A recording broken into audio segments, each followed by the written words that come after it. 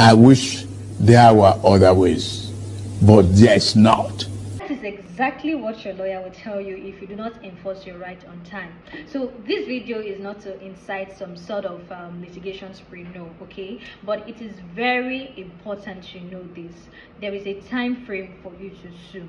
So what I'm trying to say in essence is that the law has a specified timeline okay for every individual who has a legally enforceable right to sue. So if you have a right and then you sue or you try to enforce your right after the time that has been specified by law then you most likely would have waived your right because the statute of limitation has actually prohibited you from exercising that right so like lawyers will call it it will be said that you have been statute barred okay? So it is always advisable even if you are negotiating or you are at the verge of concluding a negotiation it is always advisable to try and enforce your right you know to put you in a better light. Now this limitation period it varies according to states okay? So lagos has theirs delta kaduna and whatnot. Even outside nigeria okay there is limitation period in the united states in the uk in japan china you know? Every country has some sort of limitation law and this is to ensure that there is an end to litigation so that somebody doesn't wake up the next morning and like here's this man that is trying me i need to sue him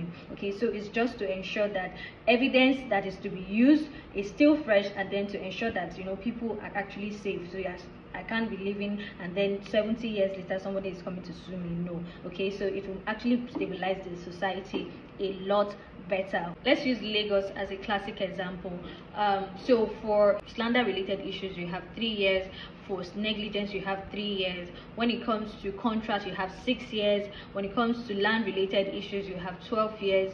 When it has to do with public public officers you have three months you know so it keeps varying like that so it's it just the time frame varies okay so it just depends on what your course of action is but thankfully this does not necessarily apply in all cases. So there are some situations that are not limited with time such as serious criminal offenses like murder human rights cases and then those cases that the limitation law actually excludes. So if you already have that thought of suing somebody that is owing you seven years ago you better forget about it because you have actually waived your rights